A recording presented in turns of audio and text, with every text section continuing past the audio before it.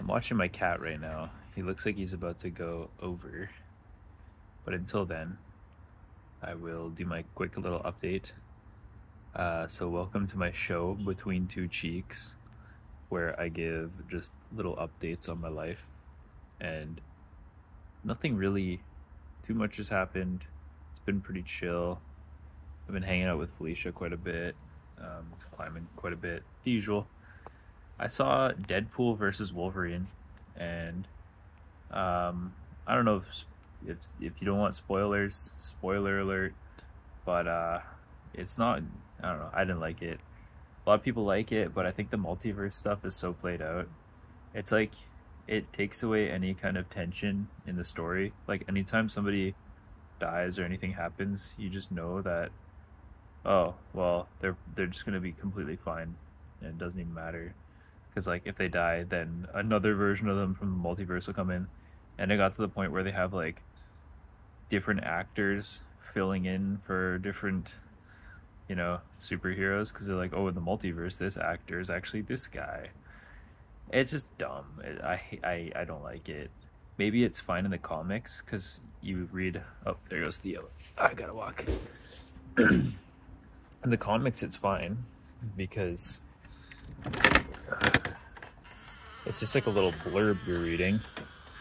Like you're not, you know, you're not expecting too much from a comic. But when you go out to see a full movie, then it's a little bit, you know, you're you're kind of expecting them to at least try, you know, and add like some consequence or something.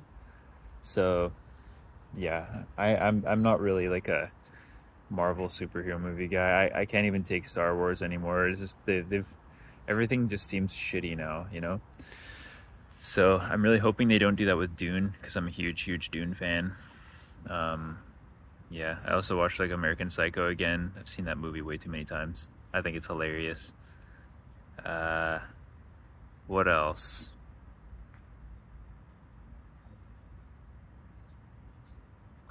I'm playing Total War Pharaoh Dynasties, the update still.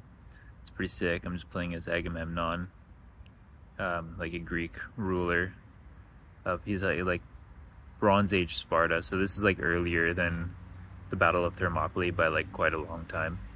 I think it's like a, a thousand years before Thermopylae. So yeah, it takes place during like the um, the Iliad, if you know anything about that, where like Sparta kind of goes to war with Troy, or Greek, Greece goes to war with Troy. So that's like when all the whole Trojan horse stuff happened, allegedly. Uh, so yeah, I'm having a lot of fun with that so far. I've pretty much taken all of Greece, and now I'm going to war with the Hittite Empire, basically like modern day Turkey. I took Troy already. I killed them pretty quick. Um, but yeah, this is funny glitch where like my armies have no head. Like there's just random soldiers that are just running around with no head, and it shows like the meat in the neck and stuff, like in like a full-on decapitation. It's pretty gross, but uh, yeah, I think that's that's pretty much it.